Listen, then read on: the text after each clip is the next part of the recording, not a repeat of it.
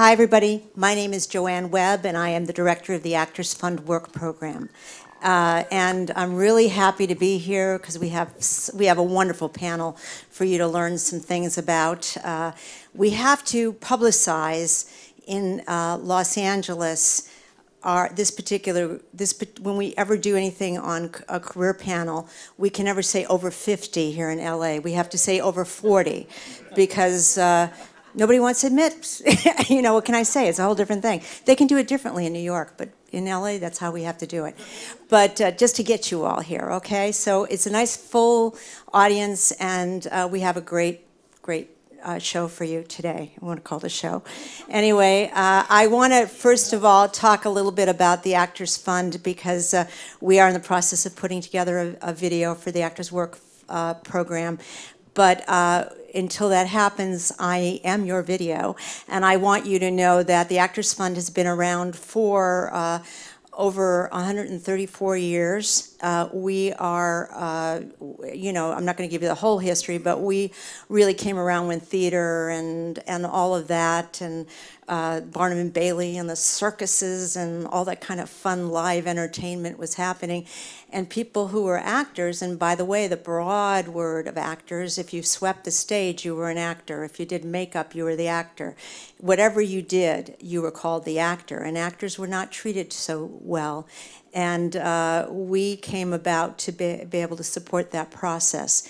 And uh, if you don't know this story and you want to learn more about it, how many of you have been to the Actors Fund or the or orientation for the Actors Fund Work Program?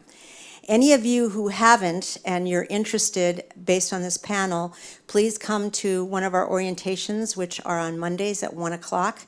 And uh, we are in this building, Suite 400, and we everything we do uh, is cost-free to you, um, uh, other than registration for computer classes, uh, which are very minimal. And we really want to get you in a position so that you can do what you do and do really well. We're about many things. We're about health services. We are about uh, social services when people need help with their rent or or, um, or getting uh, certain bills paid, but also learning about their money, how to, how to utilize it in the best possible way. So we are about many, many things, and I hope you come and see us if you haven't already. So without any further ado, I'd like to welcome our panelists. Uh, and uh, I'm, I couldn't be more pleased if I tried. Uh, but uh, our panelist today is um, uh, we have to my left here, they're all to my left actually, uh, Sandra Dee Robinson, who I have watched grow and develop through her process, which is very exciting. We also have Nancy Linari. Nancy, uh, also someone uh, we've had the opportunity to work with, and I, it's going to be fun to hear her story and what her process was. Joel Landi, who came to us uh, through uh, a connection networking through Sandra, and uh, is up here, and uh, he comes through being an actor and also a, a drive. Uh, you do driving and. Uh, yeah, and also um, stunt work, and uh, so that'll be exciting. And Mary Ann, Marianne actually, Mary Ann uh, uh, Biewener, uh, she came to us actually uh, as a volunteer at the Actors Work Program, and it's very exciting the work that she's doing now, you know, to keep going and can still do her acting, which is really what this is all about. So whether you're an actor or you do any other areas in, in the business, uh, this is about saying what happens when you're over 40 years old and you start feeling like the world is looking at you a little bit more differently. And uh, if you look at statistics, um, and I'm not going to quote anything specific, but you're seeing what's happening right now is there's such a strong need. Um, we just had a, a, one of our people from our baby boomer boot camp gave out an article a couple weeks ago that was on uh, on retirement, you know, that people aren't even able to think about retirement because they have to keep working. But even through that process, we've been, come through a very difficult economy. We're still going through that. The uh, world of work is changing. we can't even tell you totally what it looks like yet because the paradigm has not landed yet. So when you hear politicians talk about, oh yes, we need to, you know, and they're looking at unemployment figures and saying, how come it's not this? Well, it's not going to be what it was because it's going to be very different. What it was is gone, and now we're creating a whole new world of work. And that affects everybody, including people in the entertainment industry. So that's what we're going to focus on today. So, um, so sit back, relax. Please, please write any questions that you might have that might come up for you and raise them up so Dennis can see them and uh, we can collect them and we can ask those questions in our last half hour. So let's get started with Sandra. Hi, everybody. I want to second that too. I think for everybody up here, we'd love to have questions. So that I mean, we're here to serve you. I think so. Um, please don't hesitate to put questions down and send them over to us. So, um, you know, I, actors work with stories, and even if you're not an actor, you're in the you're in the industry of helping to present stories. So I'm going to start with a story. Is that okay? Um, I recently moved from uh, here, from Los Angeles, to Austin, Texas and um, I'd only lived in LA and, and New York for you know, a long time because that's what I had to do being in the industry. So when the opportunity opened up with the business that I'll discuss with you in a second, um, we, my husband and I, who's also in the industry, we moved to Austin. And I've been there for, I'll, I'll be honest with you, less than a month. but we've been looking for two years, so we've really thought this through.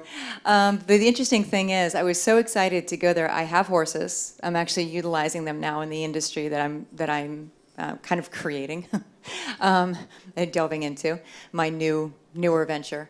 And uh, so we moved these two horses from here, we cut it down to two, and we, we brought them to Austin. Now, in my human mind, because I, I, like to study animal behavior, I've done that since I was a kid, and I loved psychology, so like you can see where my mind is. In my human mind, I'm thinking, I'm giving you a great gift. Horses in Los Angeles, even in the you know best places, a lot of times they're kept in stalls. They're kept in barns. And that kills me because I want to see them run free. The most beautiful pictures of me looking at horses that I think are most beautiful are when they're running and galloping, you know, and being free. So I'm thinking, I'm going to give you something awesome. I'm giving you acres of pasture. And the whole drive, I am picturing in my mind, telepathically communicating with my horses how awesome this is going to be. So I get them there and, you know, I lead them out to the pasture. I, you know, put the halters on at the barn, lead them out to the pasture, and I'm looking and I'm excited and my horses are feeling the excitement. And I take the halters off and they run 10 feet and then they turn and run back to the barn. And I, like the stupid human, I'm sure it was amusing, I'm standing in the pasture pointing to their butts as they're running away. And I'm pointing at the pasture going, that's for you. That, that's for you. And I felt stupid, and I'm walking back. I'm dragging the halters with me, and I'm walking all these acres back. I'm like, what is wrong with these animals? Don't they see that they can have all this freedom? Don't they see how big their world is? And they didn't. And I realized I've done this in my life. We all do this. We all stay close to the barn. We have our restrictions that we put on ourselves. And my part of my story is exactly that because there, we all have different ways we approached, you know, acting or the industry in general. I went into it because it was all I thought I could do and it remained all I could, all I thought I could do. And maybe that's why I never, you know, because I, I, I was so focused on this is all I can do um, that I visualized it so intensely. I was very fortunate to work for a very long, steady period of time. Now, steady doesn't mean I'm always getting paid well. We know how that works, right? Steady means, you know, a couple years are really good, and then, you know, uh, remember being on a show that aired every Friday night, and my friends in high school back in you know Pittsburgh were going, "You must be making so much money." I was barely paying my portion of the rent in an old apartment in Playa del Rey. So you know, we know that it can be up and down. But when it came time for me to start considering, well, what else can I do? Because the up and down was getting really rough. I mean, at one point, I, I've done a lot of soap operas. That's why most people would may know my face. Um, I've done more soap operas than I think are on air right now, so that makes me feel kind of old. That and being on a panel of 40 over makes me feel kind of old. It's that kind of day. But um, when I reached a point where I realized, you know, I have a brain, I'm actually a pretty smart chick, and I went from honestly making around half a million dollars. The next year, when we moved, I found my tax receipt. The next year, I made 5,996. I ended up homeless. That's a story for another day. But, um, and I've, obviously, I'm not homeless now. I've kind of found my way back. But, but it, was a, it was a detour that I probably didn't need to take if I'd had the support and the confidence in somebody to show me that there were other things out there. Not only show me the pasture, but lead me out there a couple of times. Because I did have people that showed me bigger pastures during that time. And, I, and they would say, go into casting, go into this creative thing, go and do that. And I was qualified for all of those things. But, and I'm, and I'm not regretting it because it gives me the opportunity to share my story with you. But, um, but I didn't even consider that a possibility because I said, no, no, no, I'm an actor. I can't do anything else. This is all I know. This is all I've studied. This is what I do. And I kept close to the barn if somebody shows you a bigger pasture, get people, make sure that you have people around you that support you in a bigger dream. Make sure you have people around you that think bigger than you do. So, a coach, a mentor, a buddy, somebody that you look at and go, wow, man, you took that risk and it worked. Hang out with some risk takers that will open up your eyes to what is possible. Because I, in order to keep myself comfortable in my little tiny zone by my barn, surrounded myself with people like I grew up with. Even in a different city, New York, LA, I surrounded myself with the same people to reconfirm what I thought of myself. Is this sounding familiar to anybody? And if it isn't, if it's sounding familiar and it's new to you, pay attention to that. Because you all have skills that you've been given that you can create something consistent for yourself and still do what you love but I no longer have to worry about going homeless. I know I've proven to myself that I have skills and I can use my intelligence and my, my, my God given gifts to do something that I don't have to worry about where the next job is coming from. I don't have to worry whether I look like the casting director's ex wife. I mean, we lose, as an actor, you lose stuff for weird reasons. You know, you're too tall. Well, sorry, I can't fix that. you know, you're too short, really can't fix that. I mean, then like some, some heels, you know. There are things that are without, beyond our power. So I think it was more than anything when I took the opportunity to start a business, and by the way, the business I'm gonna share with you is not the first one I did. I stepped out and didn't know what the heck I was doing. I started a bath salts business. Did I tell you this? Um, because I liked baths, and so I thought I'm gonna not bath salts, the drugs. oh, for gosh sakes, no. Um, no, I, I liked take, taking baths. So I create, I got these dead sea salts and I put this whole thing together and I tested it and I put it in beautiful little packages and, and I thought I was going to create this business. So I went out, I got my DBA and I read up on what to do. Nobody around me. I didn't have those supportive people, right? So I, I was really just kind of stepping forward and like a bouncing off the walls. So I started this bath salts company. I'm making bath salts in my dining room and I remember calling my dad and going, Dad, it's like I'm in poltergeist. There's water seeping from my walls. He said, How many bath salts do you have? And I'm like, I have so many, you know, pounds over in this corner and so many pounds in that corner. And, and he goes, And you're in your dining room. You're attracting water because of the salt. And I'm like, Oh, I can't do this in my house. I really, like, I did not always plan well, okay? So that's the other thing plan well when you think you want to go in a direction, find people that know what to do and follow them.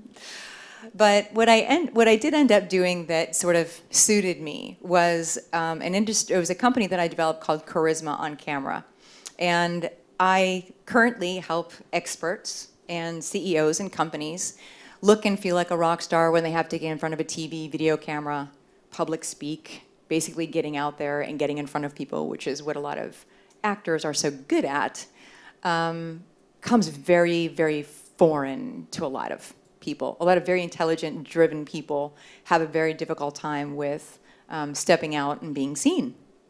So I thought, well, I had to do that myself. That's why I teach what I teach. because my job as an actor was so important to me for two reasons. I said it was the only thing I knew how to do, but the real reason behind all that is that I had no self esteem growing up. I was taught very limiting beliefs as a kid about my value. And when I got lucky with some acting gigs, I jumped on that because that, I didn't have to worry about who I was. I didn't have to worry about my value because I could be someone else.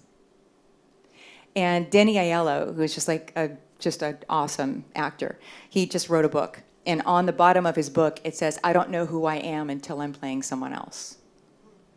And that was me. It's very common for actors to feel that way.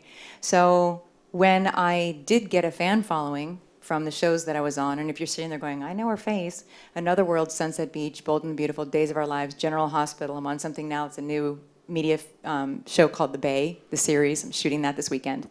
So soap operas have been, you know, they've fed me very well. There are other things I'll pop up in nighttime, but for the most part, my face is daytime. So um, I lost my track now. That happens when the blonde kicks in. Um, but I, I got a fan following from being a lead character on some of these shows. And of course, they said, Well, we want you to come and represent our charity. Please get up on stage and, and invite people to give. And then they would hire me to do an infomercial, which we used to call hush money. Now I'm thrilled about it. But um, it pays very well sometimes. But they would say, Come represent this product. And I would have to basically sell something. The only way you can sell something is if you own who you are. When I'd get there, they would say, and you might have heard this if you go into commercial auditions, just be yourself.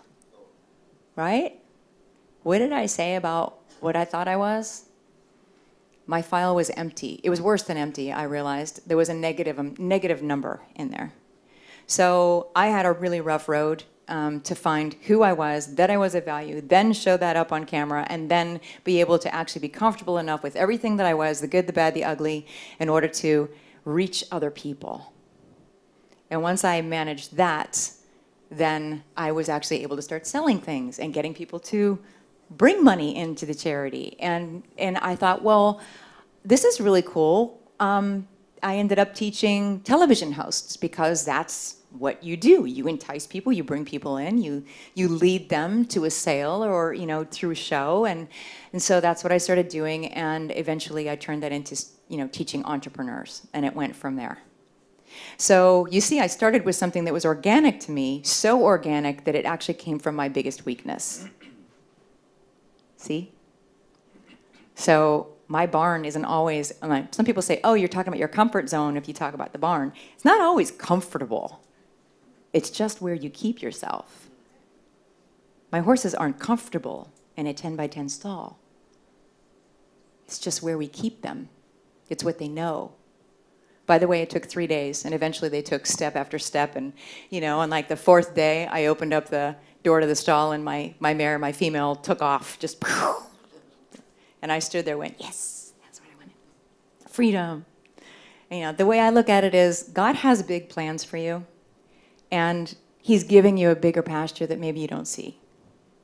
So surround yourself with the right people which is you know what I, I'm so adamant about now. I, I speak, um, I have clients all over the world. I work with them via you know, the internet. We do webinars and, and I coach people in any kind of presentation or anything that they need to do where they're stepping out. And a lot of times I have to refocus them on what their purpose is and why they're doing what they're doing. Even the most driven, intelligent people will see shiny things everywhere and I have to refocus them like, what are you here to give? Who do you most want to reach? What do you want your legacy to be? It's not that you have to give up your acting, but there's something that is a gift inside of you that you know that you can actually harvest and and live in and still be really fulfilled and not worry about where your next paycheck is coming from which is nice it's really nice and now i can take acting gigs i can do things if i like them. Crazy concept. Or if I create them.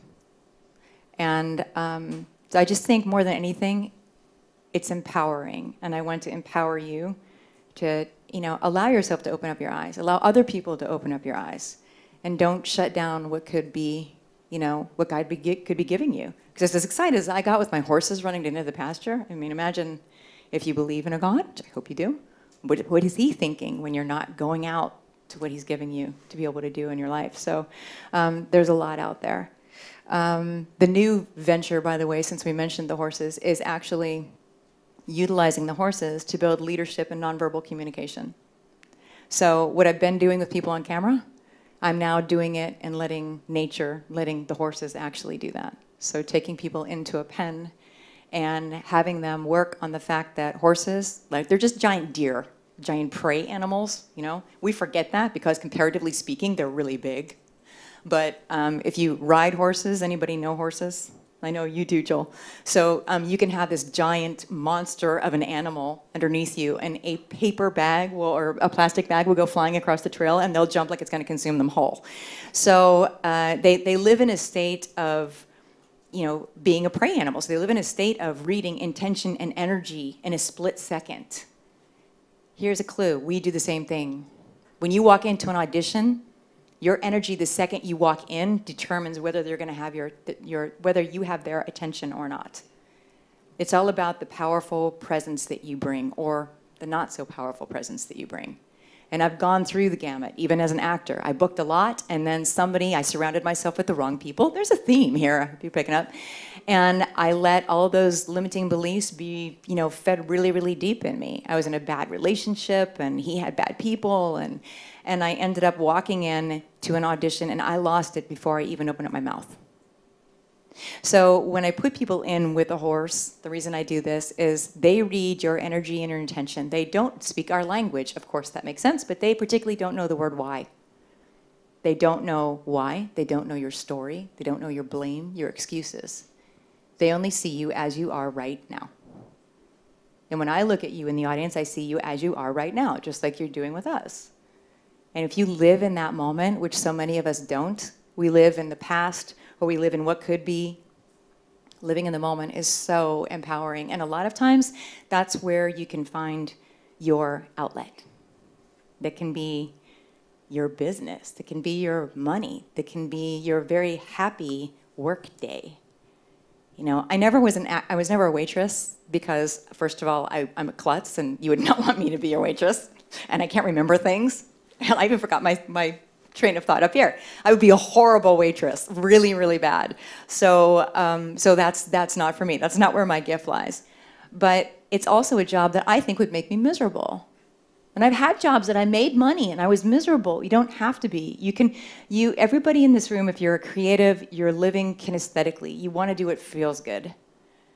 So find something that feels good and talk with people that have bigger ideas than you allow yourself to have and do something with it. Let crazy ideas come into your head because that's what happened to me. And when somebody said to me, do what you're doing with television hosts, but do it with entrepreneurs, I went, what? What are you talking about? Why would anybody want that?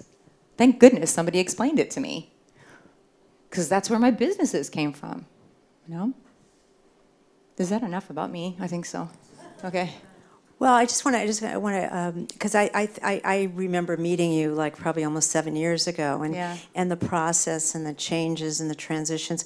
I think it's, I, and, and you really told the story so clearly, but um, you know, there's the ups and there's the downs of process of, of starting a business of, of your own. I think part of it is, as you shared, finding a business that really uh, connects the dots with who you are. You know, that's very important. Mm-hmm. But did you have to get any um, professional help, Oh, uh, you know, in terms of learning how to do Yeah, a so I didn't, business of your yeah, own? so I didn't try to make bath salts in my dining room anymore. Yeah, exactly. Yeah.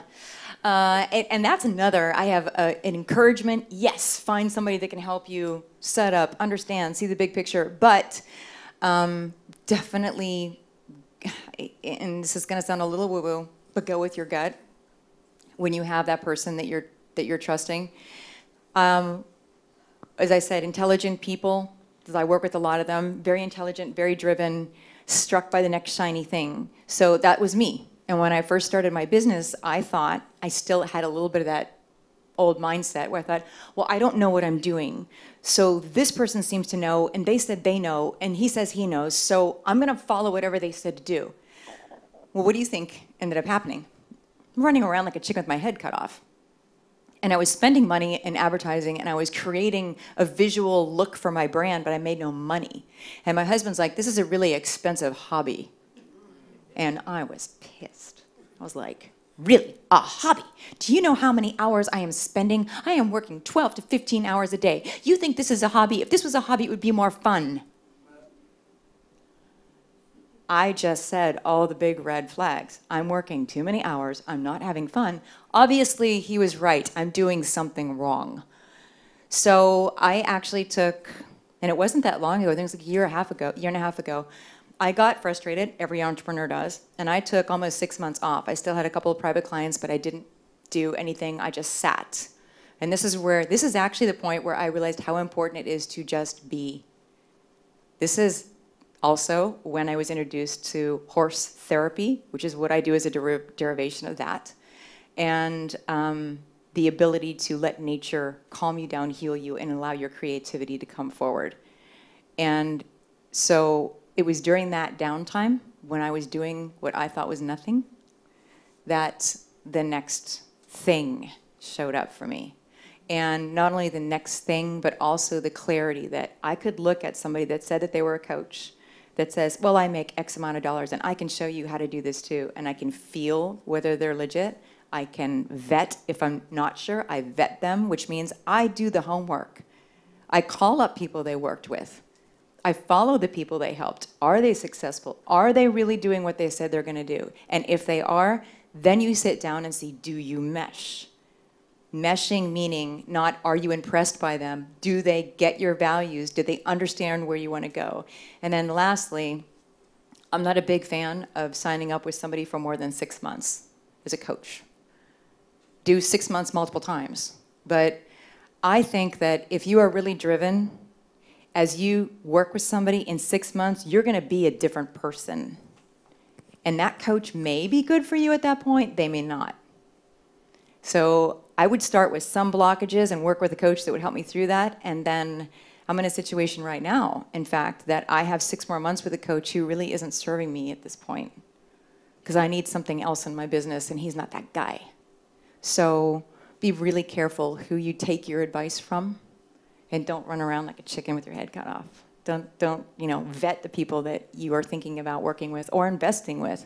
I'm a fan of investing, you know, whatever you can, even if it's helping them, sitting alongside somebody that would mentor you, no matter how old you are.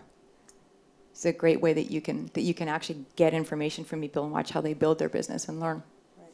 I, I think that what you're stating is so important because a lot of times we see, a lot of people see uh, stuff on coaching, and I have a lot of friends that you know they they took things for life coaching and and and all of that, which is which is great. But it is about you know having the mentors you need and really being able to do that because I have a lot of friends who spent a lot of money and now they're having now they're struggling. You know, so it is about being very clear and concrete about what you're doing. I know Joel will probably have something to say about that because you do it with executives. And the yeah. good thing about having a coach though too is another part of that puzzle where I'm saying have people around you that encourage you, see the bigger picture, allow it to happen, visualize what it would be like if it did happen, instead of living in the um, what if it doesn't, just for the heck of it, try living in what if it did work. And you know, I said surround yourself with people that can see that, but the other, the other side of that is um, do be very careful with the people that are encouraging you and make sure that they're not, you know, that, that they're grounded, if that makes any sense. Right. Um, then there was something else you touched on that I felt a spark for, but I can't remember what it was now, so I may. We can, co- we can come back to it a little bit later. Okay, we'll move over to Nancy Linari, who I have gotten the opportunity to, to, uh, to meet here at the Actors Work Program. And I was so happy that you could come over and speak for us and Thank share you, your own experience with what you're doing. I'm glad to be here. I'm just not sure how close to the barn I still am, so I'm a little self-conscious about that. Um, I am an actress. Nancy, you want to bring your, your microphone? Oh, sure, I'm sorry. I have been an actress for, ever since I got out of college. I uh, am from Chicago, and I started in theater, and without, I don't want to say without a lot of work, but without some of the hassle that young people today have in the business, I became a member of the unions and started working. Chicago is a very vital place to work, and at the time, it was very, um, it was a natural progression for me to become equity after a SAG and do many things. I moved out here and I still continue to work. I would call myself most of my career a blue collar actor. I've never had a series, but I have always, until a point, always worked. It might be commercials were what was feeding me for a couple years. It might be episodic. It might be a couple of equity shows that kept me going. Um, when and I have made changes as that. I've tried to adapt a little bit. As I when I got pregnant with kids a little later in life, I decided, ah, now I need to focus on voiceover, which I'd always done but hadn't put as much energy or time or money into. And there's a lot of money that goes into these things as actors, as we all know. It's a lot of money um, to to sort of be the hopeful actor who's going to get chosen. Um, when my kids were six and three, I had a wonderful husband. I was married uh, almost 20 years. My husband dropped dead one day at work. So there I was, already kind of an older actress, with a three year old and a six year old. And I think of it as kind of a perfect storm. He died six months after 9 11, and I think 9 11 changed many things, not just our our sense of safety and our sense of community, some of it for the better, actually. But everything changed. The dot com sort of collapsed. There were a lot of things that had sort of been on a roll as an actor, and it all changed. Everyone is fearful, understandably so. So to me, it was kind of a perfect storm. I was getting older, I had these two children. I was a really lovely second income in Los Angeles. I was not the primary income in my family with two kids. And when I had my kids, although I continued to work, I had my babies, so I wasn't working like I did before. I'm, you, you can have it all to a, to a degree, but it's hard to have it all. So uh, I'd love to tell you that I jumped right out of that barn right away, but I had several years of, it was a pretty devastating time for me, and I was still raising children and trying to pay for things and and raise children and, and, and heal. And all the while, I'm noticing, hmm, the work is not reliable anymore. But I don't know what else I can do. And um, if there's one thing I've always said about myself is I'm really capable. I may not be brilliant at a lot of things, but literally, if you asked me to drive a big rig truck, by the end of the week, I would drive the truck. I'm not saying I would drive it well. I'm not saying that, but I would I get you where you needed to be. If you ask me to throw um, a function at a school for 250 people on a budget with a breakfast, with a program, I'll do it. I'm not saying it will be the best program, but it will be darn okay. You know what I mean? So, so I have all this, but I was really kind of lost, and I did seek out the Actors Fund, and I met Joanne, and I she recommended that I come into a group called I think it's on the fence. Are you on the fence? Are you on the Are you on the fence in the industry? in the industry. And the way I looked at it, I sort of had a condo on the fence. I was so on the fence about what to be done with my life.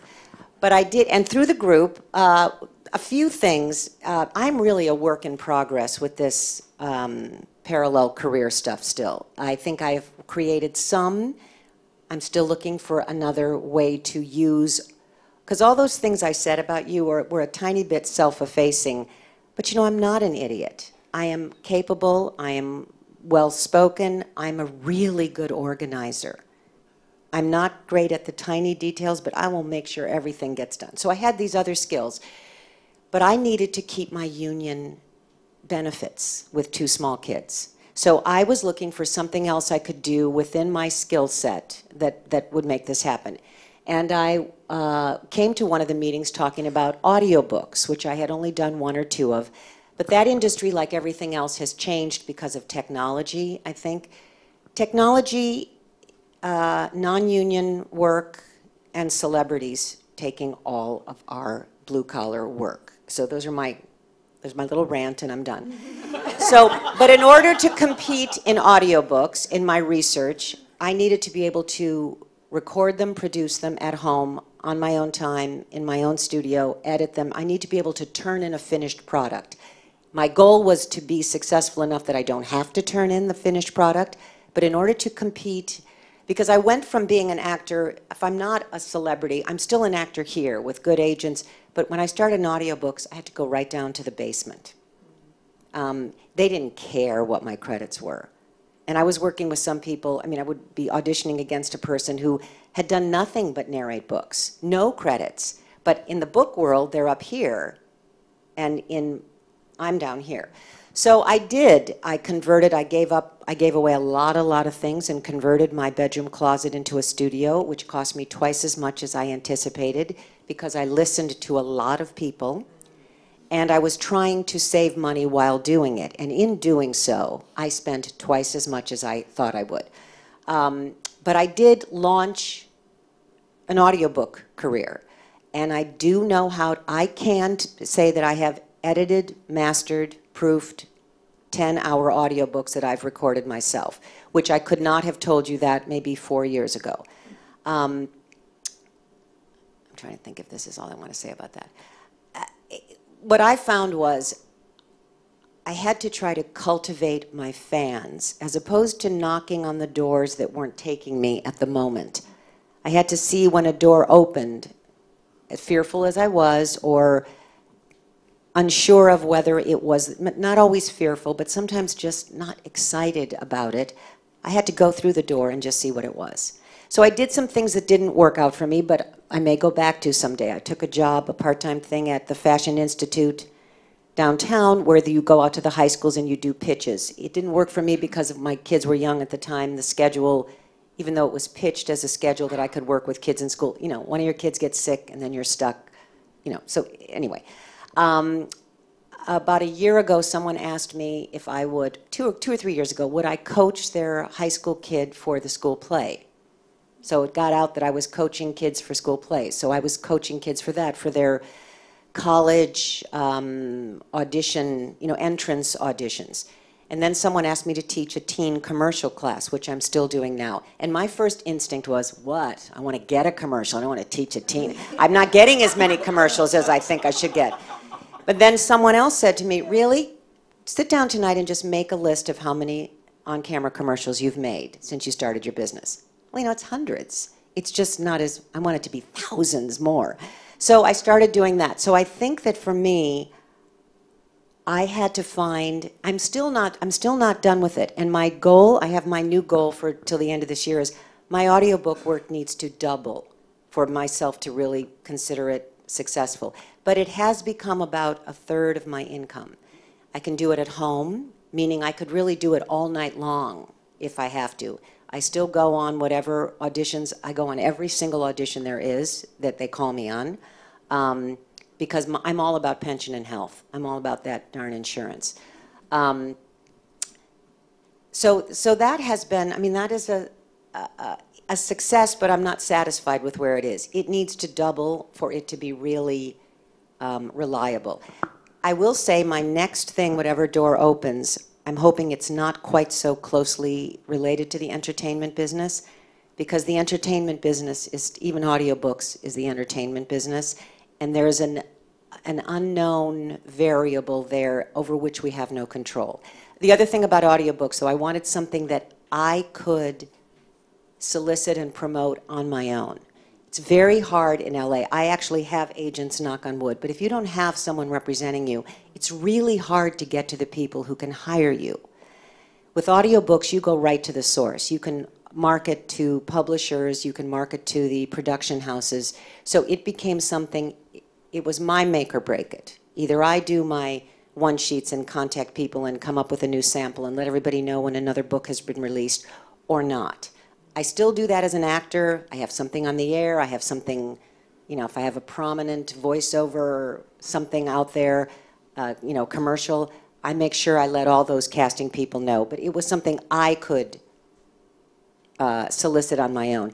And I will tell you, it's not the million dollar business. I don't know if any of you know it. In the voiceover world, it's the most amount of words for the least amount of money. But here's the thing I'm really good at long form narration and always have been. I, and I love to read. So it does have a few of the things that I love to read. Even a book that's not a brilliant book, I'm happy to read the book. So I thought, okay, this is a marriage there that works. I can do this. I read ahead very well in the line. I'm, I have good diction. I have a very strong voice. I can talk for six hours a day if I need to. I don't have an ending to this right now. I just kind of have to stop. Does this, have I said, so, but I do think that the, if the, I hadn't been, I was in a particularly great group, the On the Fence group, a very supportive group. There were only another, maybe one or two other actors in the group. But they even encouraged me to do some things like um, apply for financial aid at my kid's high school. I didn't want to because the old me, the other me, didn't have to apply for financial aid. And I said, well, that's financial aid for people who really can't. They're like, look at yourself. Right now, you can't write the check. So those, it sounds like a small thing, but to sit in with a group of supportive 10 or 12 people who said, no, you have, you're going to apply for it. If they don't think you deserve it, you're not going to get it, but they may. And I did get it, a few thousand dollars that year, so which, which helped. Um, okay, I don't know. Joanne, anything Well, else? Am I leaving something You can out? applaud, you can applaud. You have to applaud. You can applaud. We always like applause, right?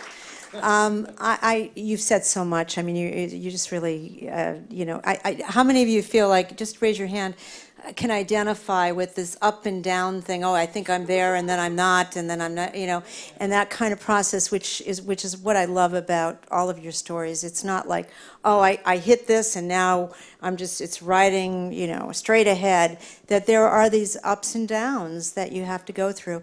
Can you speak a little bit more about really, because Sandra, Sandra spoke about it, and I think it's a big piece of it, but, but having community around you that is supportive, because sometimes it's even hard when you're, you know, other people that are in your business to talk about the feelings that are coming up. Yes, and I, I know that if there are other performers in the room, the, it's tough, you, it, you have to be careful who you complain to as an actor.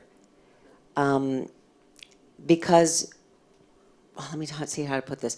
As much as I'm complaining about things to someone right next to me who is equally talented and capable, they don't have the same agents I do. So to them, I should, you know, zip it and stop complaining about it. Um, I have to say, I was have always been very supported in my career.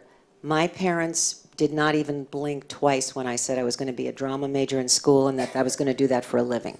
I had an aunt who was an opera singer, and my parents were both first generation um, Italian Americans. For them to just say, "Yeah, yeah, go go for it, go for your dream." Um, and I had, when I was married, my husband was extremely supportive of what I did, a big fan. And,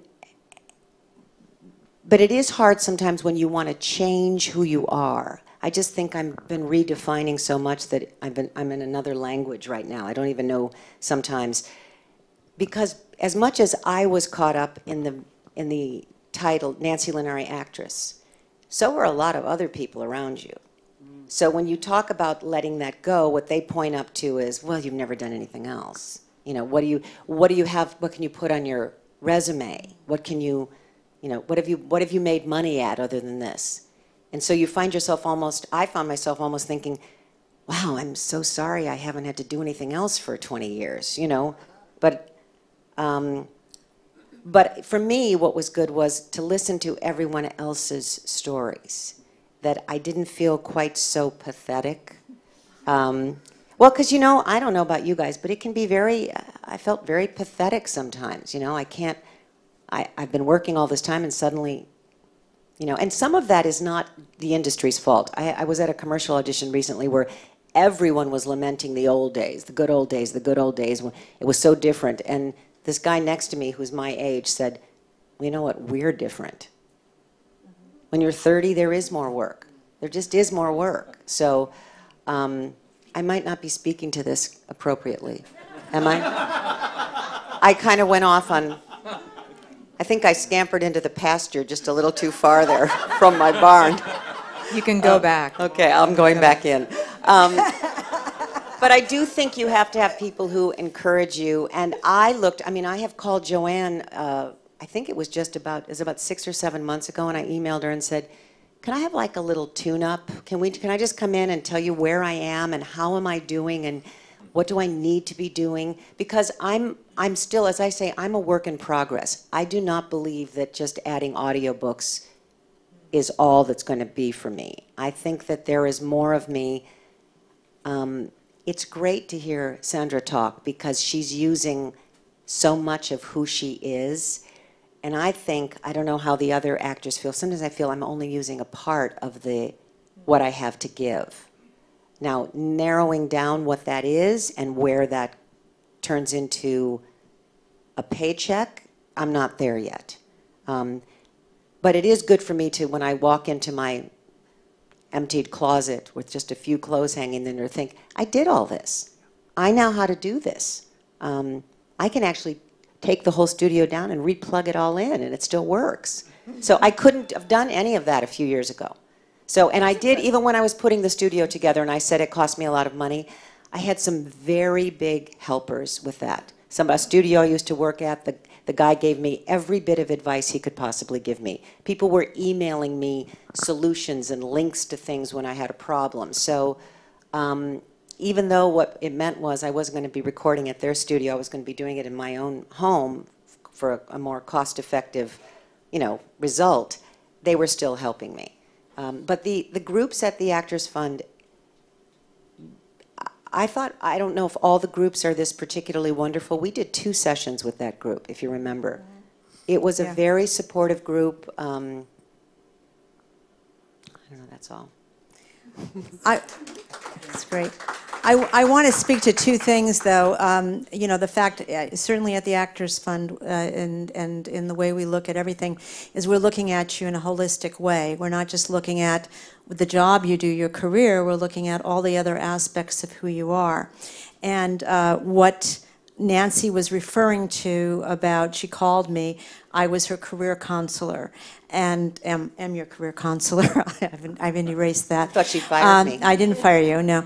Uh, But, uh, but along with that is, I have a, we have a wonderful team. Uh, Mary Beth Abella, I think she's here. Um, Mary Beth Abella is a career counselor with us. Adara Blaine, um, uh, they, they teach workshops. You need to learn about resume or job search strategies, social media, um, how to use that in terms of looking for work, art of interviewing, assessment.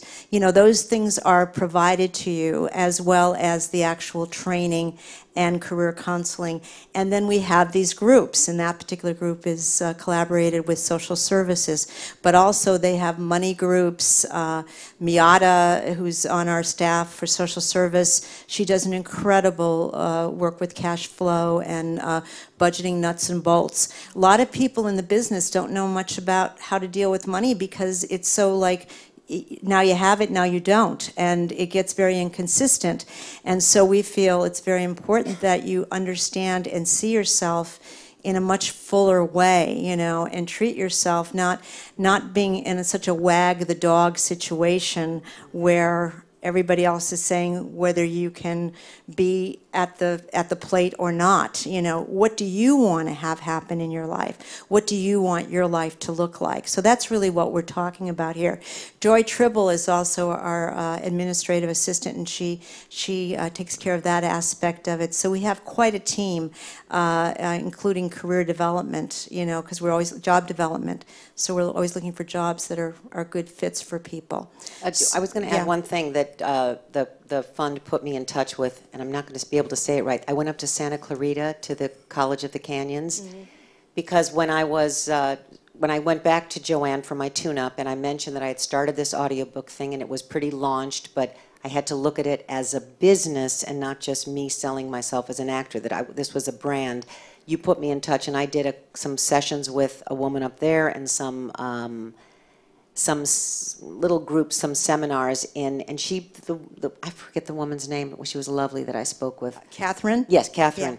And she sat down with me and said, well, you need to look at this like a business. You need to have the business plan. How much of your week are you willing to put into this part of it? She, she kind of gave it to me as uh, laid out on paper as a business, which I had not done, a blueprint for it. Yeah, I hadn't done that before.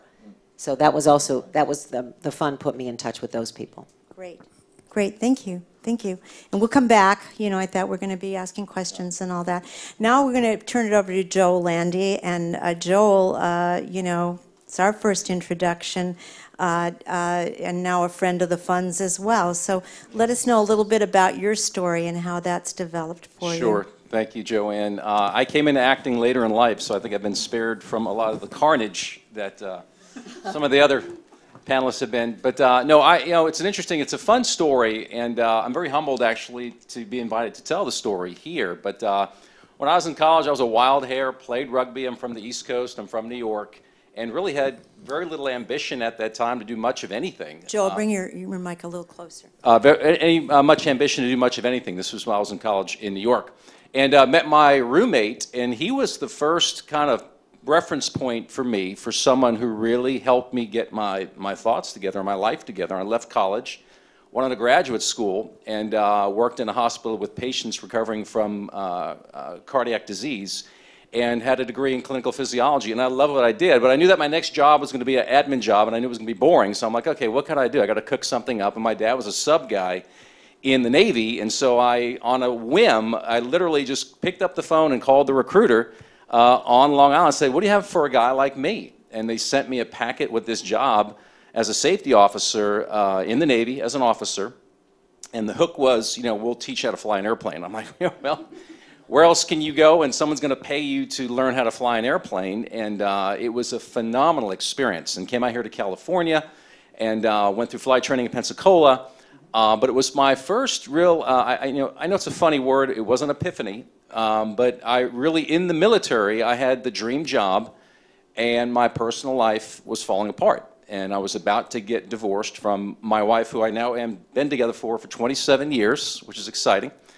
Uh, but that was a time in my life, it was a turning point. That was the first major turning point where, you know, the long and the short of it was I was high on success and I was really low on family. And I haven't really figured out and took the time to figure out what were my values and, you know, what was really driving me to be who I was and, and, and what I was. And so in that transition, in this epiphany, um, we part of me turning my life in a different direction was building a spiritual fabric. I actually became a Christian, and then I became a minister. And uh, it was a very unpredicted. Uh, I never saw it coming on my radar screen, but I remember having this conversation with another minister, and I, I was like, "You got the wrong guy. I mean, I've got a degree in physiology. It's not theology. I mean, how am I going to help these people? I mean, I think you got the wrong guy." And I'll never forget. He said, "Joel," he said, "You, you know, you're at a crossroads." I said, "You can either, you know, help pilots put bombs on targets, or you can help people, you know, recapture a vision for their lives. Which one do you want to do?" So- and it was pretty intense. And, uh, and so for the next 17 years, I was in the ministry. And it was probably the best 17 years because it really sensitized. You know, prior to that, I was all about innovation and being hard charging and doing exciting things and experiential learning and, you know, racing and all this stuff. But I really got sensitized to how important it is for all of us to feel like we need to grow. And if we're not growing, we feel like we're, you know, we're going backwards. And the one thing that kept coming up in the ministry was regret. And I felt that every time I got with somebody, whether it was they're average or they're very successful, when the words, you know, I, I wish I could have, I just remember feeling my spirit would just drop.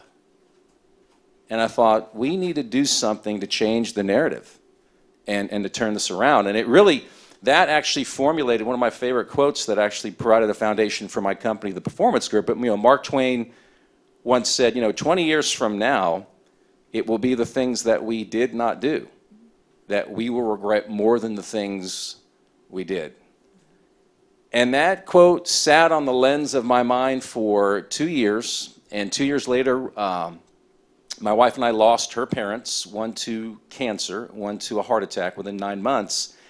And I was at a crossroads as, as a minister of 17 years. And, this, and mind you, up to this point in my timeline, there's acting is not on the radar. I mean, I'm not talking to anybody about acting. I have nothing to do with the acting world. Um, and so I thought, okay, the parents died. I'm thinking, I'm in a unique position. At the time, I was 46.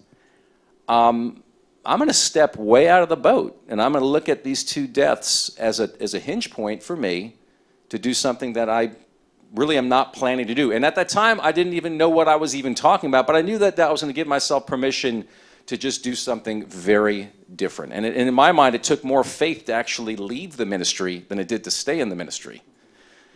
And so here I go again, you know, step out of the boat on faith. And so I, um, I did a lot of, you know, self-examination type work, read a book, Unique Ability, and I thought, my, my first reference point was, okay, you know, for 20 years, I've been helping people have these breakthrough experiences. You know, what, what should I do? You know, if, if you can do anything and write your own ticket.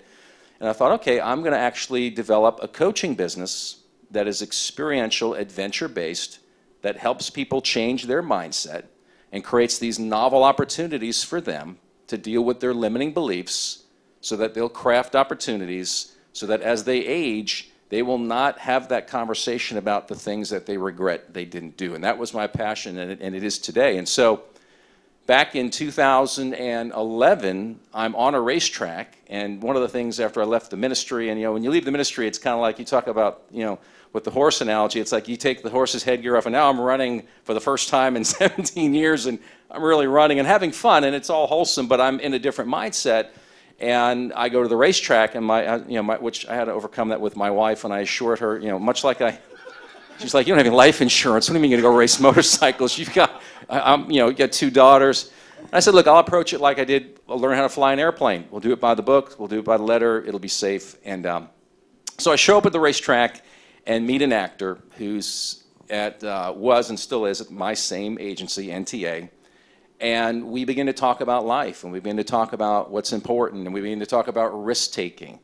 And then out of the blue, he's like, you know, you've got a good look. He said, what are you doing right now? I said, well, I'm actually in the process of, you know, I know it's very LA, but I'm reinventing myself, and I have an idea. I want to do this coaching thing, but, you know, I'm wide open to almost everything to a degree, but I'm wide open. I really am. I'm wide open. Uh-huh. And so, you know, three pictures from my iPhone, and I get an interview at the agency, and I, you know, meet the president and one of the other uh, persons, and I sign, you know, sign on with the agency. And it's funny because I go home, I talk to my wife, and in my mind, I'm thinking I'm signing up for this this print experience. I didn't even understand that it had to do with commercials. And I'm thinking, okay, this is zero preparation. You just show up. I'm a face. I mean, the reason why I was invited here apparently was I'm arm candy. Okay, I can do that. I can just show up. I can look good. I don't have to open my mouth. This is easy. And my first experience, three months after I signed up with the agencies, I'm standing on a golf course with Ernie Els for Royal Bank of Canada, and I'm doing this spot, and I'm like, holy moly, you know, how did I how did I get here? And then from there, I took it really seriously because I realized all the deficits that you know I didn't have any classical training and and that was the beginning of, of that piece of my life. And actually, it's been exciting. I've been very, you know, very fortunate and have been around the world. And one of our commercials just picked up an award at the, at, at the Cannes Festival, one in New York. And uh, it was, it's been a really interesting uh, experience and chapter in my life. But the thing that I'm more excited about, going back to this thing, is about, is about helping people. And this thing about risk, uh, regret. You know, and I think Sandra mentioned the concept of risk. And I, I remember reading this in a book four years ago, and it's never left me. And, and it says, uh, risk should always be evaluated not on the fear it produces or on the success it may bring, but on its value. And one of the things I do with clients is we talk a lot about value and we clarify values. And I've met a lot of overwhelmed people. In fact, I was with a potential client in Calabasas four or five days ago. And what I've learned is when people are overwhelmed and they feel like they need therapy, it's very powerful when you sit down and you actually just really straighten out what your value system is. And you'd be surprised in a couple of hours how freed up and clear your mind gets when you are able to articulate here are the things that I think are valuable for me. Like I know for me, spirituality and family are the two anchoring, guiding values for my life. But for my company, it's all about adventure, innovation, and achievement. But the achievement has a lot to do with more of an altruistic piece where it's not this blind, selfish ambition where you just want to go make money, but a lot of times the achievement is wrapped around how do, and this is me speaking in the first person, how does my presence benefit other people? And that was my turning point in the ministry, and I think that's why, you know, God had moved me out of that situation. It was just, it was just too much self-focus. And so I've built, you know, a small business and an exciting company on helping people overcome these limiting beliefs because I, even though I had a neurophysiology background that I studied in my late 20s, I've come to find out now, I'm 50, is everything really starts and ends in the subconscious. You know, the conscious mind told you this morning, you know, I should wear that yellow shirt or that blue shirt. Your subconscious mind right now is, is your belief system, and it is driving your behavior. And it does drive you when you show up to an audition. Like I know, I mean, I, I and I don't have nearly the, the experience that some of the other women on the stage do, but I know enough to know that when I go to an audition, I can't, I don't subscribe to the whole fake it till you make it thing. It doesn't work for me. I mean, I've got to be authentic, but to Sandra's point, my authenticity needs to be rooted in beliefs that are constructed. And that's what the work that I'm doing now. My kids, you know, my kids laugh at me. I've got a 17 year old, 14 year old daughter, and they come into my office every morning, house office, and I got this weird Johnny White feather music on, and I'm burning a candle, and I'm sitting there, my eyes closed, you know, and I'm just really trying to anchor my thoughts and get really clear on what I believe. And I, I mean, I love that part of my life, you know, and it's like exercise. I mean, I love exercising, but man, if you don't deal with what's between your ears, it's just a hardship waiting to happen over, over, and over. And to go back to what Sandra said too, um, you know, one of my favorite uh, proverbs is an African proverb. You know, if you want to go fast, go alone. If you want to go far, go together. And for me, you know, I think one of the, the coolest, I mean, and I've been very fortunate and done some really great adventurous things in life, but now, one of the things, the highest things that I find value in is being in a small group of people, four, six people, that really want to think and really want to innovate and create. And I can't agree more with what Sandra said that sometimes I think the limitation, and certainly it can be between the ears, but there's so much power in finding the right small group of people. And I want to say this carefully because now this is me, ex-minister, is I'm, I, I believe I'm a very compassionate person. I want to help people. But if you're in a position where you're not where you're exactly you need to be, you can't be around people that are even where you're at or slightly below.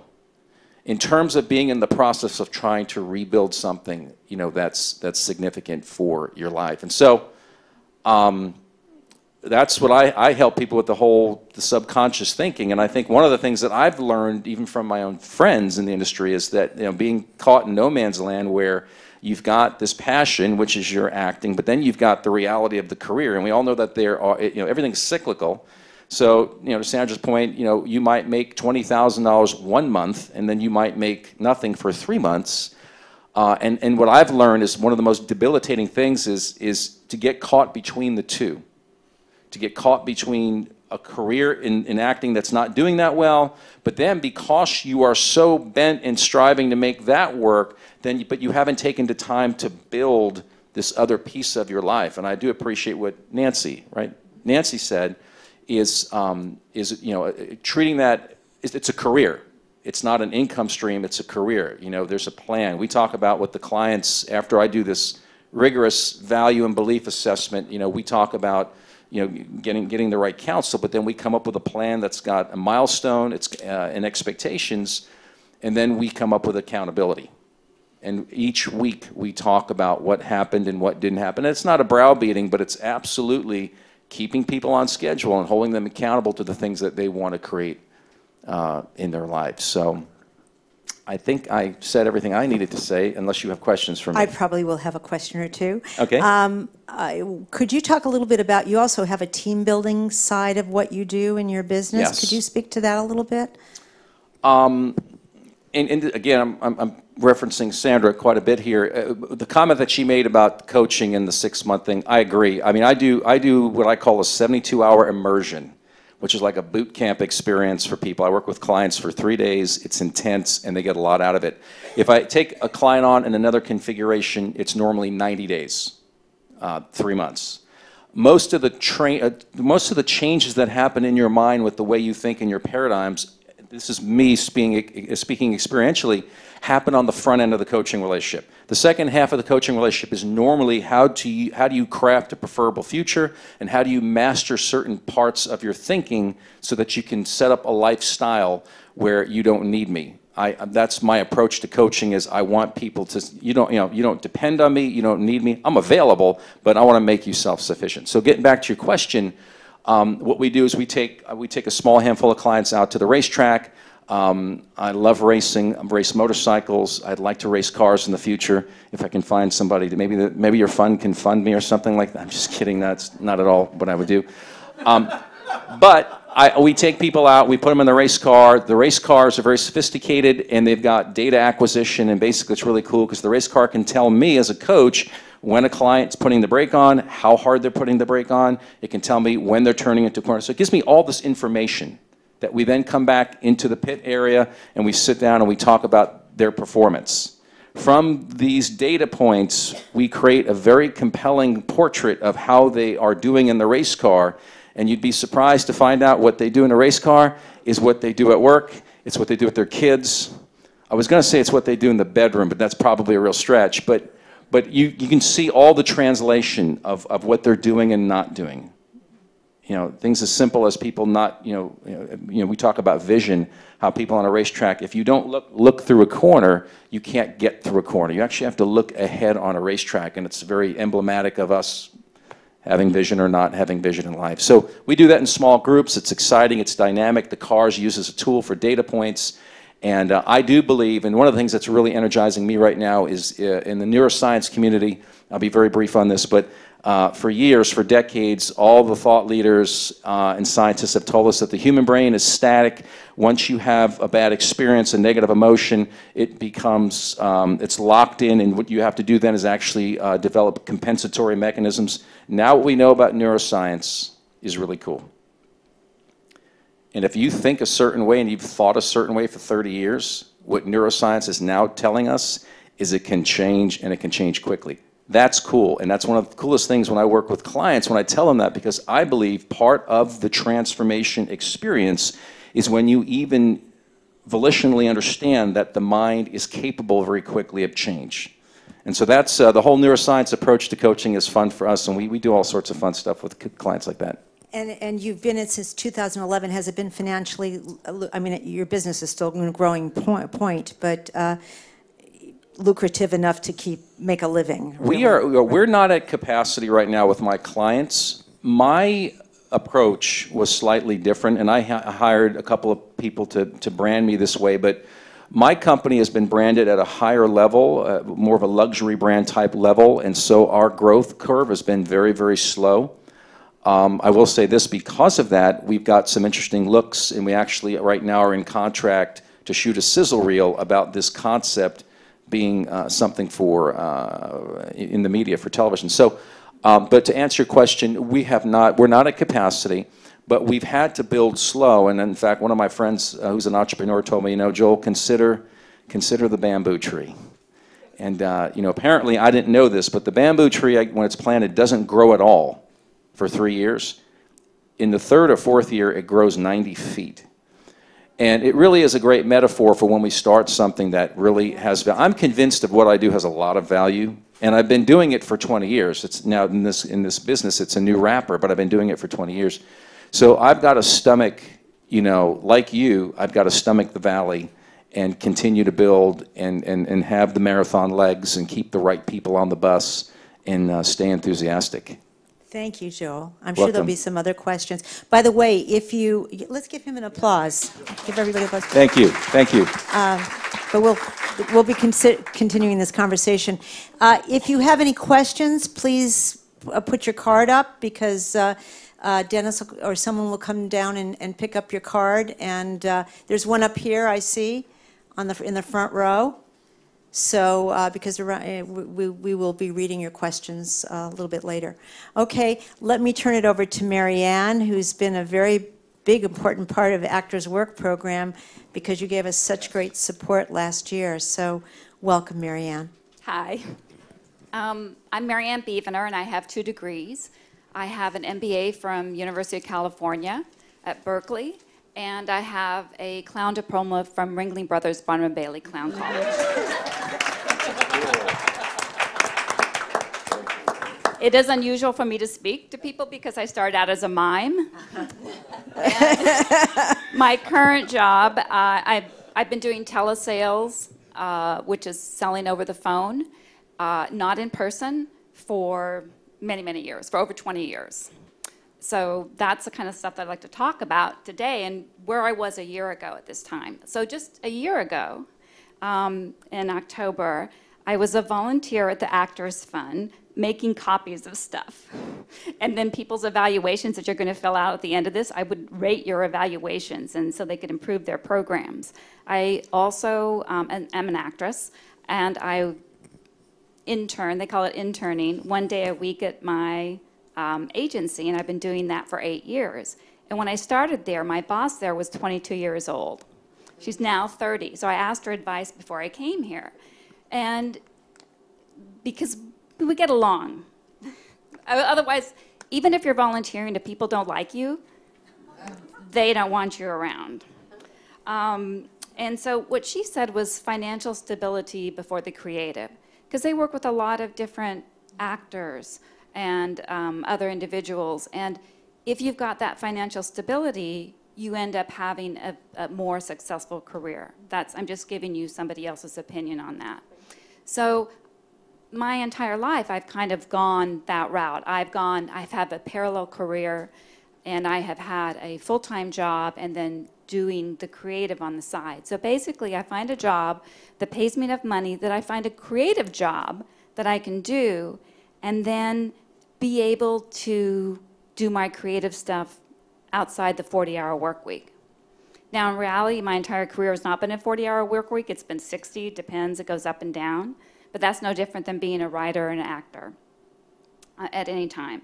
Uh, the flexibility in that. Uh, it's the third time I've used the Actors Fund. So last year, when I was volunteering, I was um, out interviewing. And uh, oh, I should also say I was volunteering because I heard somebody talking about it earlier. If there's an industry you're interested in, go online, find their trade show, and then call them up and volunteer to, to work that trade show. Uh, so that, like, there was Digital Hollywood is in town this week, right? And I used, I've been a volunteer with them for five years. So I go out there and, and usually get the registration desk. And then you get to sit on some of the seminars and you find out interesting things about that industry before you decide to go into that industry. So that was last year at this time. And then I called up, I've been interviewing for full time jobs, and I called up my old boss, and he says, No, wait a second, I just went to this new company. You've got to interview here. So by the time I interviewed there, which was in, in I, I had a phone interview first, because you have to be good on the phone. Um, I had a phone interview, I got to my audition earlier, like an hour early for the audition. I had a phone interview at 11, went into the audition, did the audition, came out, and then ended up, you know, getting this job. And one of the questions they asked me, the hardest part, I guess I should say, the hardest part for me in interviewing is that I'm not used to talking about myself because I'm a salesperson. I listen to what other people are saying. So it was hard for me to go back and revisit what I did. Like even before today, I had to go out and print out my resume in case anybody asked me, what had you been doing? You know, what's your specialty? What do you do? I, I, I know it, but I don't talk about it very often. Um, so uh, when I was being interviewed, they said, well, if you don't get this job, what will you do? And they go, well, I'm a volunteer at the Actors Fund, and they seem to like me. I'm uh, also with the CERT team, Community Emergency Response Team, uh, by the by the where am I at? LA, Los Angeles Fire Department. So I'm a volunteer for that. Um, I have two other part-time job offers, and one starts on Monday. So within 24 hours, I had a job offer for a full-time job, full benefits, working from home, and I'm managed out of Austin, Texas. so I'm in. I like Austin now too. So, so, so I feel very lucky. Now that isn't. I'm going backwards. Is okay. All right. The uh, and checking with Joanne. She didn't. Uh, the um, the second to last time I used the Actors Fund was when I hadn't been working for a number of years because I moved from San Francisco uh, down to LA, and I decided, well, no, I instead of just the acting, I want to. Um, and also, also, I am also a writer, so any writers in the audience, we can talk a little bit about that. Uh, the I say, what do I want to say? Um, as a, so I wanted to get, well, let me just go to work part-time. I bet I could get a part-time job. So I came to the Actors Fund and I learned how to use Indeed.com and I found a job.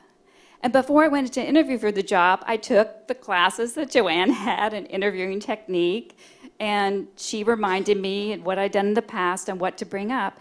And it is the same as in acting or when you're a writer. When you're talking about yourself, it's not so much, it's that the desperateness. As long as the desperateness, you're not desperate. If you're just comfortable in yourself, you know, you say about bringing yourself, if you're just comfortable in yourself. And I didn't find that out till six months later that that's why they hired me because the other people that come in for this part-time job were desperate.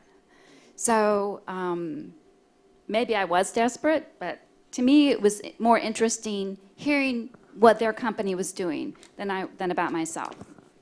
So the first time I found out about the Actors from Actors Fund, Actors Fund, We're fun, too. We're, we're a fun fund. It's okay. Um, was uh, in 2009 when they were testing for uh, people to, to do the census. So I worked for the US government as a census taker in the first round in 2009. Um, and that was interesting. And when I was there, as they tested me, I, I just gotta stop taking these tests. I just don't recommend these tests, especially if you you were you know maybe you're raised to do well at tests, and maybe I was raised that way, so I did well at the tests, and they promoted me to a supervisor, and then all of a sudden I was supervising 23 people, and doing a census, and they were all very smart actors, writers. And they were really good at their storytelling as to why they weren't showing up on the job. And I said, oh boy, oh boy. 'Cause- Because I didn't get into sales as an individual contributor until I was 37. Prior to that, I spent 15 years managing people. And then I have to say, I didn't like that. I didn't want to do that anymore. And I made much more money in sales in doing that. So I just want to say at 37 is when I went into sales. And if you've got questions about sales, customer service, what type of jobs are out there, I can talk to you about that if you've got questions about that. But I do want to make clear is that I'm very proud of being a salesperson. I get up every morning, I do not have a job. And, and it's, I'm only as good as what I sold that day. That sounds kind of harsh, but that's the same as any writer or, or probably or any other creative person too. So, as I told some other people I work with, I go, basically, my job is my entertainment. I make sure that I manage it as an entrepreneur, even though somebody else is paying me full time to do this. And um, I think it's uh, important about the sales is that you i'm proud of being a person person that will listen to other people and see if there's a fit for what we have to do so that's what i want to say about sales versus customer service but there's a lot of great jobs out there. And if you can prove that you've done it and quantify what you're doing anything the actors fund teaches you a lot about that about um, knowing what you did documenting what you did a methodology to how you do it and that you've done in your life. And they are able to pull information from you that is um, a transferable skill that's the term and the transferable skills if i talk to any of you it'd be easy to figure out what oh your skill is what your talent is and other people will pay you to do it for them so that you have the money and time to do um, to do the other creative things that you want so um, I got my little cheat sheet here because used to I'm I don't really always work off a script, but that's what some salespeople are. But so I just want to take a really quick thing to see. Um, uh, I guess the other thing I would say when you're volunteering and then when you're networking is what's been brought up before from the, uh, from the other panelists is that you are the product. Um, you need to develop your own marketing plan about yourself when you're looking for a job or in anything you're doing. At my company, I'm always having to rewrite. I take other stuff that people have uh, had written, um, the marketing department, I rewrite it for each individual type of company that I'm working with because I'm, do, I'm doing business development. And so um, in networking, you want to say three things. I am, this is the three things I can do. I can do this, I can do that, I can that, and this is what I want from you. And if you just remember that, just can say, these are the three things I know that I do really well. Um, and tell people about that and say, can you help me do this? And that's what sales is asking for something. If you don't ask, you don't get. And in particular, if we start talking about age differences with people, we could talk about that a little bit more. I'll wait till Joanne asks a question on that. But that's the same thing with um, having been a woman in business for as many years as I've been in business. And by the way, it was the clown diploma that got me into Berkeley. So, um, and I have been able to work, if we go back further, I've worked with um, a lot of nonprofits. I actually was a president of the board of Make a Circus, if anybody knows that, out of San Francisco. We were around for 25 years. And um, that's how I've been able to contribute creatively um, that way, besides my own writing, which I started doing when I was 40, because I had something to say. And of course, it was about technology, because I'm a little computer nerdette. And I was very upset about why everybody was calling people webmasters. So I became the webmistress. So I think that's where I'll end right now. Thank you so much. Thank you so much. You covered so much information that I, I, I but I do have questions that'll, that'll, right. that'll go for all of you. Um, I hope you're getting some very good information, because I, I'm, I'm excited, I'm just so excited. Because you ask people and you know a certain amount about them, but I'm learning certain things too. Uh, I'm going to ask some questions from the audience, which is kind of cool. And uh, this one's from Kay Oliver. Uh, uh, Joel mentioned giving himself permission to take the leap. Did the others, others of you do this for themselves as well? If not, what did, the, what did you do to break through the fear? Or you might even say presently, what do you do to break through the fear? Because the fear could still be there, you know, under different, Right. um, different masks, right? Yes, and, and this is a question for me. This is a question for all All of of you. us. You, you had mentioned it think you- yourself. I think you addressed Do it already. you You want to- addressed it before, addressed it unless you want to uh, talk a little more on it. Yeah. I- I am actually. I mean, I think if you if you have if you're an entrepreneur, there's every day you're going to have to take a leap. I mean, every day you're going to have to face some sort of fear. And with what I do, I help people through all different kinds of fear, um, as is Joel as well. So, um, you know, right now, I'm at the point where I'm getting a lot of pressure to build the horse portion, which is called horsepowered. It's horsepowered.net and um, that portion of my of my work i'm really getting people i'm i'm doing what i don't usually do which is i'm starting out cautiously but i'm getting the pressure to build it build it when are you doing the next one and it's a little scary so when i start to get apprehensive about it or worried which does no good for you by the way um, my mother was a chronic worrier. I should learn from her experience that it doesn't do anything beneficial. So I try to stop myself and I find a quiet place. I listen to what was the music you listened to?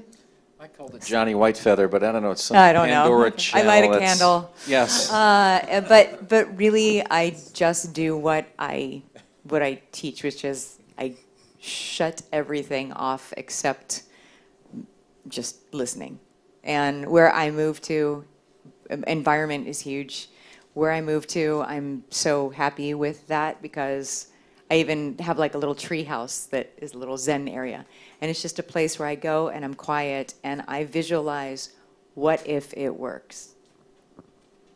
And that helps me. Right. That helps me a lot. And then if somebody comes up and pressures me to go in a direction, I not only can see what it would be like if it worked, but I have to do that qualification.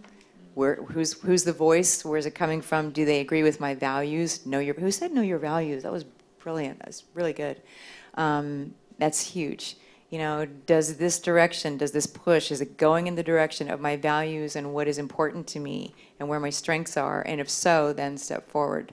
But um, being quiet is probably the thing that sometimes is the hardest, but it's just the most valuable for me. And I just want to just throw out that anxiety and fear and all that are very, very normal. You know, if you're not sure how you're going to pay your rent next month, you know, that's going to make you feel kind of anxious, or you feel like you don't know what's, you know, what the next options are going to be, you know, in six months even. You know, you, you can get those kind of uh, things happening. How about some of else? Anybody else here? Nancy. I uh, have a couple of friends that I go to. Um, one of them, we call it our accountability um, emails. We'll try to get together. It doesn't happen every day, it doesn't always happen every week, but at least once a week. And she'll say, What have you done towards what those three goals we talked about? And then I'll, I'll make a list, and she'll say, Well, can you really do those this week? Pick the three things you can do, and are you going to do them? And then we, we're pretty good about emailing each other or texting the person, Did you do those two things? Text me as soon as you do those things. Pick up the phone now and make the phone call. So I rely on, um, I'm not a good meditator. I'm sitting between the really spiritual people. So I'm, I'm not. I always think it just, I just want it to go faster. I just want to meditate faster. Um, so, so I mean, We'll talk about surrender you're all, You're all knowing a lot of, yeah, you're all knowing a lot about my flaws. Um, I started there, it's so- okay. So I have people that I go to, and I have different people I go to for different things. Because I have some people who are just cheerleaders, and sometimes that's what I need. But I have some people who are challenging me. Um, And you learn very quickly who you don't want to go to. You know, uh, who doesn't like the idea that you're going to do something new, whatever that means to them about themselves. So that's what I do. I go to I might light a candle while I'm doing my accountability check. add a little enlightenment to it, the experience. How about you? And anything in terms of that area that? I like the other two answers. Okay, okay. Could, yes. could I add something Sure, to that? sure. So I think uh, overcoming fears, preparation. And I know it sounds simplistic, but I think I've, some of the greatest motivators in my life have been people that have taught me to keep things simple. And if you're about to jump into something new or craft something different, the more homework you've done, uh, you have done, and the more clear it is to you about what you're going to attempt to do, even though, you know, the fear of not knowing the outcome is normal. That's a normal fear you need to own, excuse me.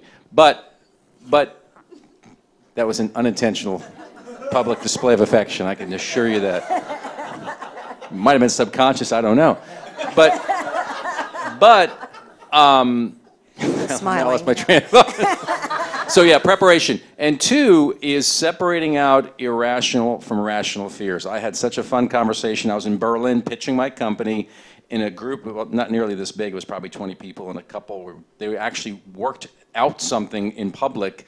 And long and short of it was, he wanted to platform jump, do some bungee things. She was adamantly opposed, and we walked through what the real issue was. And the real issue was actually her because to jump off certain platforms in certain configurations is safer than you and I getting into the elevator, but you got to work through that. You know, so there's an irrational part of you having to jump. You got to know what you're really, what is the, the real fear and what's the irrational piece. If you do those two things, I have found the fear is dissipated significantly. I think at this time I'd like to add, uh, when you talk about fear, is that um, at another place that I went prior to the Actors Fund in San Francisco, um, they taught me to have a job search weekly goals, and you always had to have one item on it which was beyond your comfort zone, and you got to reward yourself once you accomplished that. And it was as simple sometimes as picking up the phone and calling someone that you didn't want to tell or you or something about but the rewards initially were pretty big and then you got so successful at just doing that one thing a week um, and it's still in my sales job i do that picking up the phone you know i have to pick up the phone and call somebody that may not want to talk to me um, I reward myself afterwards. It may be that I end up calling a customer I like, or there's a, a great 800 number which I should give you, which I didn't bring with me. but um, if you ever aren't happy one day, just call, look up the phone number for a Piggly Wiggly and see how they answer the phone.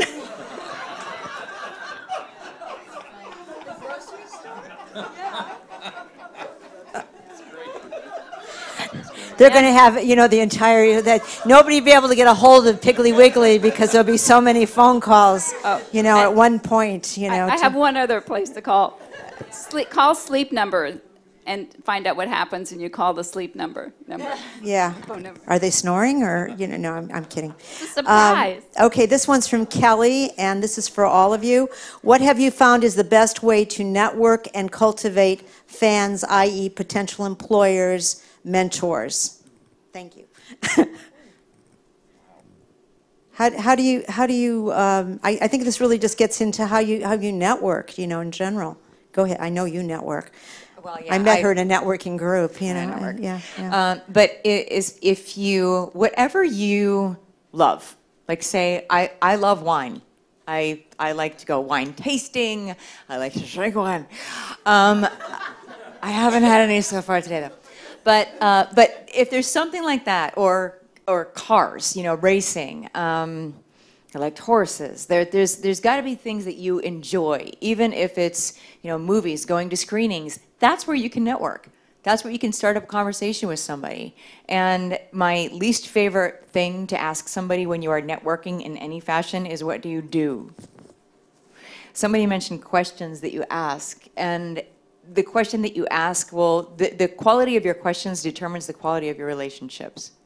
So if, and actually the quality of your life, if you want to take it a step further. So if you ask the right questions, I mean, think of it as you have one chance to ask a question about somebody and learn something about them. As soon as somebody says to you, what do you do? You say, I am a. And you put a label on yourself. And then a human nature is, well, I don't need that right now. So don't ask, what do you do? Don't put people in that situation to put a label on themselves, even though we're very comfortable doing that. Ask them something fun. Ask them, you know, have you had this wine before? What's the best thing that happened to you this week? You know, what, you, what are your plans for Halloween? If you ask the right question, if you say, hey, if you could go away tomorrow on vacation, where'd you go? Who would you go with? And that person would give you more information about themselves, their relationship, whether they travel, whether they don't. You'd find out if they're afraid of flying. Right? All the things you can find out about somebody if you ask an interesting question. That's the best way to network. Then you find the people that resonate with you. Maybe you find somebody that loves to, you know, race around a racetrack, um, and and you bond with them on that. And that is how you build relationships, which is how you network. You don't walk in going, "Who's going to hire me?" That's the worst thing, you know. So um, I make networking fun. I used to hate it. I used to hate it when I had to go in and go, "So what do you do?" And then I had to answer the same question. Blah. No, just have find a fun way. We're creatives. Find a creative question. Right, and also just finding places, you, you, you sp- spoke to this little bit, places you're interested in, like be around other people that are, I always call find your tribe, you know? Find those people that are interested in similar things that you're interested in, because it'll be much easier to get into conversations with people because you'll have much more to talk about. And it's not that you want to work, like say, I wouldn't go to a wine tasting thing, I want to work in the wine area necessarily. But I would go wine tasting, and even in my current business, I met a guy a couple of times that was in the wine group with me. They had special tastings on certain days, and he was he did interviews. He was a I guess he wasn't a detective, he was a police officer, but he did interviews for people that were suspected of doing a crime. So, interrogations, right? He was the interrogation specialist. Of course, I think this is super cool, right? Um, so I'm like, well, tell me about that, you know? And it was funny because we ended up striking up a relationship, a fun, you know, friendship. And I said, I want to have you come in and I want to interview you for my people because he reads body language, he does all that stuff. I teach interview technique. It's perfect. It's a little bit outside of the box, but how cool, right? So I was networking for my business at a wine tasting. It had nothing to do with the wine. Mm-hmm. So when she says, you know, go where you have the things that you like to do, hang out with people that like the same things you do. Isn't that better? I think. Doesn't hurt, it doesn't hurt at all. Also, joining professional organizations that are doing things, uh, you know, uh, there's a professional organization for practically everything. And you can go to those type of meetings or dinners or, or uh, sometimes they have a class or a workshop. That type of situation can be most helpful.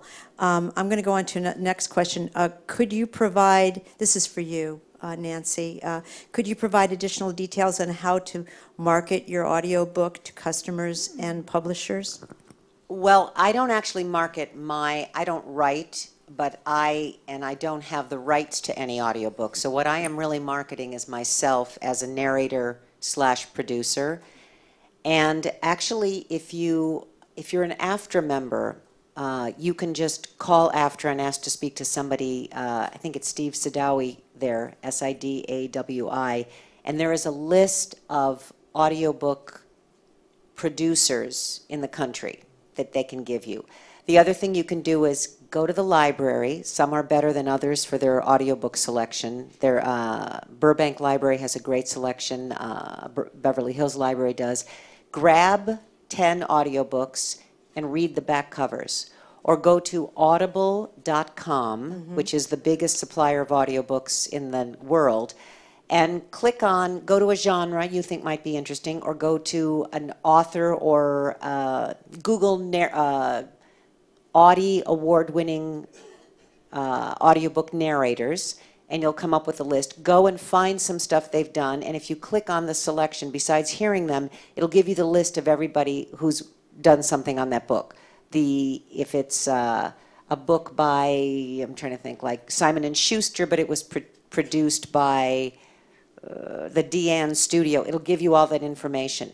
You know, the internet now makes it really possible to get all this stuff. So that's where I started by by going on to Audible.com, and I I first Googled women who work all the time in audiobooks and seeing who you know sort of where my competition was. And i listened to a bunch of people to see uh, i could do her she's too young she's too uh, charactery. And then i went and listened to what they did and looked at the kind of producers that they work for. And then went to those audiobook those websites and snooped around to see what are the genres here um, does that does that help? Or is there something more specific um, Does that help? Joel. Yeah. That's who, yeah. Yeah. Okay, great. Joel. And uh, that was another Joel. Uh, Recommendations uh, for building clients, for those of you that have your own business. Um, How do you, how do you, how do you manage that in terms of building clients? Yeah, go ahead, Joel. Uh, we have spent a lot of money historically on campaigns and websites and, uh, you know, going to functions, and those are fun, and meeting people. And what I've come to, this is my personal conclusion, is that probably 80% of my company uh, is word of mouth. And so I think being out in the community, I often, if I have a choice of working in my home office or going down to a, a cup of, uh, get a cup of coffee, of course, I'll always go down. If, if I can do that kind of work, I'll do most of my work in public. And I'm always meeting people. And I think one of the panelists touched on this. I think one of the greatest way to just start the, the conversation is a common interest. You know, I love bicycles, I love motorcycles, I like cars. I mean, there's a lot of things out, you know, surfing. Uh, so it's very easy for me to connect immediately with somebody on a mutual passion, and then from there, a discussion that will lend itself to, you know, what are you doing in this area? Who do you know? And then it's just being bold and asking, you know, could you connect me to? And I've had very interesting conversations with people like that that have been fruitful. some, one of the things we always suggest is informational interviews.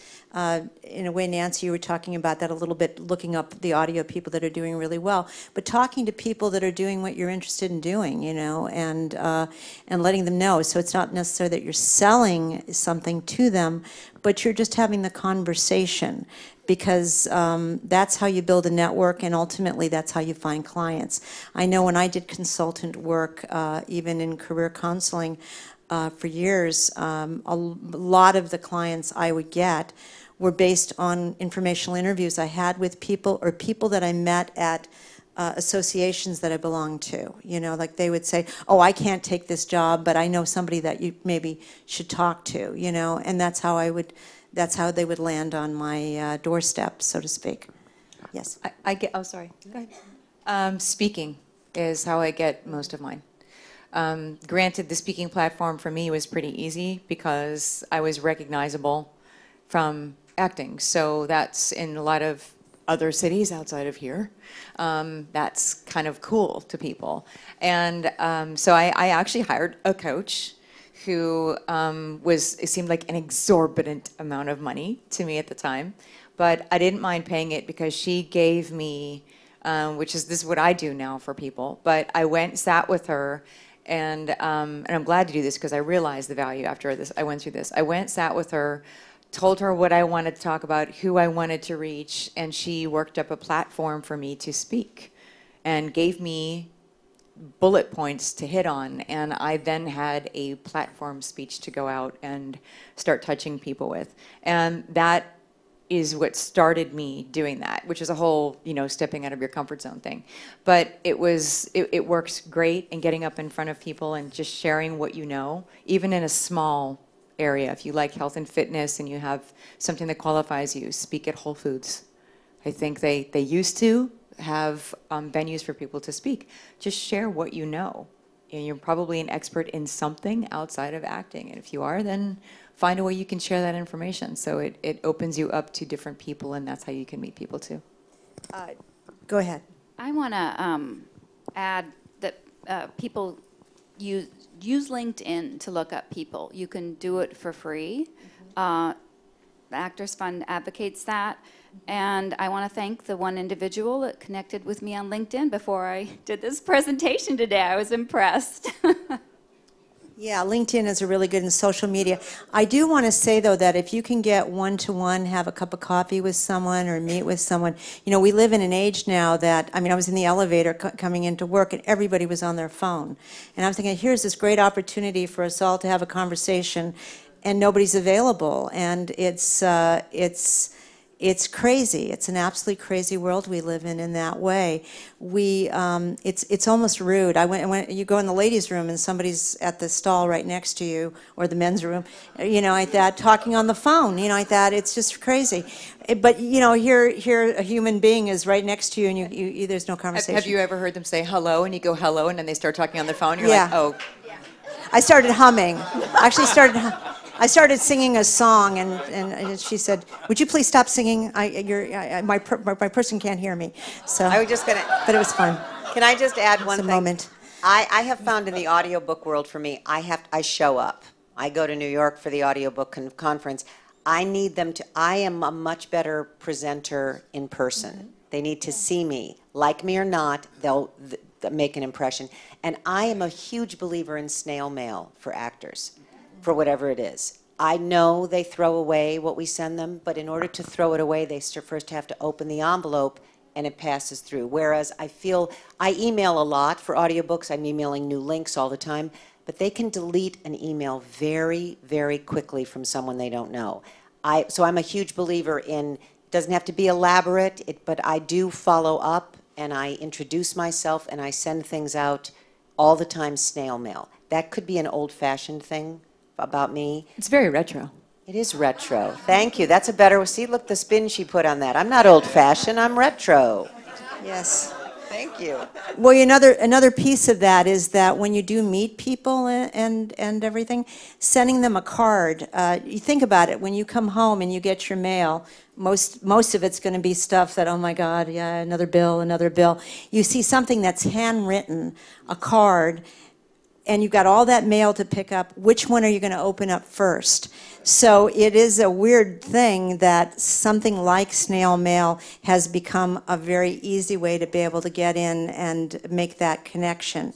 I think we just have a couple more minutes, so uh, I just want to ask you guys, is, is there anything else that you want to just open up?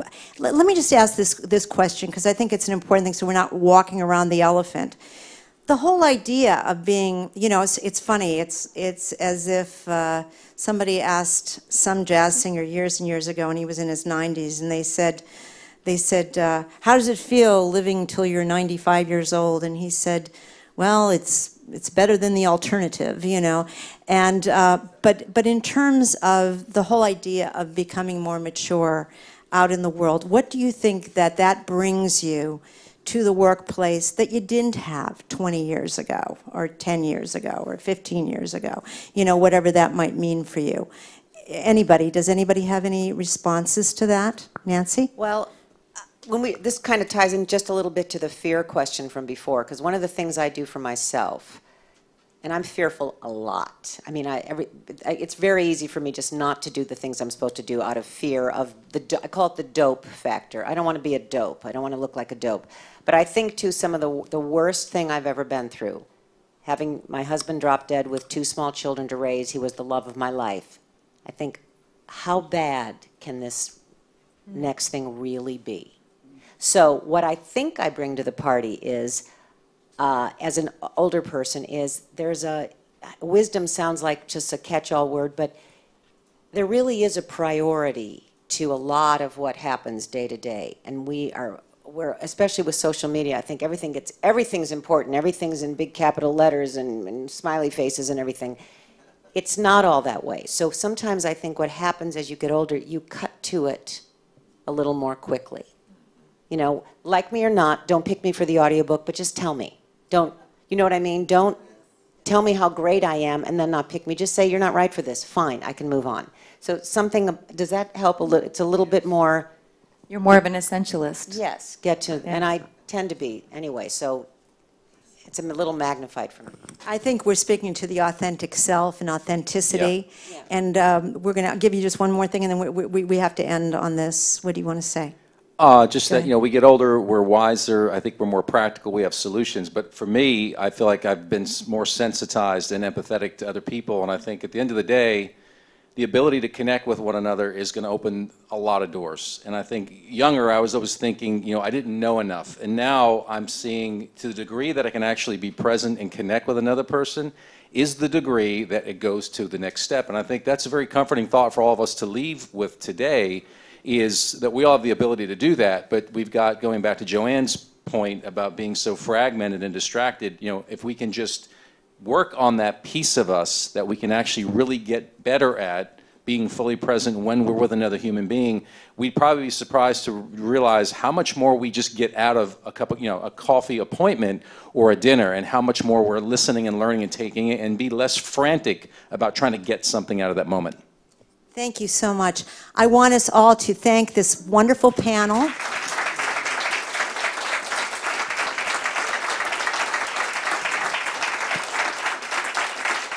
And I want to thank our, our partners in this, uh, SAG Foundation. Thank you, Dennis, and your whole team. You know, wonderful, wonderful opportunity to speak to so many about a very important topic. Please, if you haven't been part of the Actors Fund, please feel free to come to an orientation, 1 o'clock on Mondays. We'd love to see you. We'd like to be able to help you in any way we can so then you can, you can keep on doing what you love doing and be your authentic self. Thank you so much.